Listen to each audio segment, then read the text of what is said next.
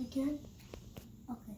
Sunday, Monday, Tuesday, Wednesday, Thursday, Friday, Saturday. How do you say it in Korean then? 일요일, 월요일, 화요일, 수요일, 목요일, 금요일, 토요일. 음, 토요일. Aliana, you're supposed to draw about your day. But I want to do something.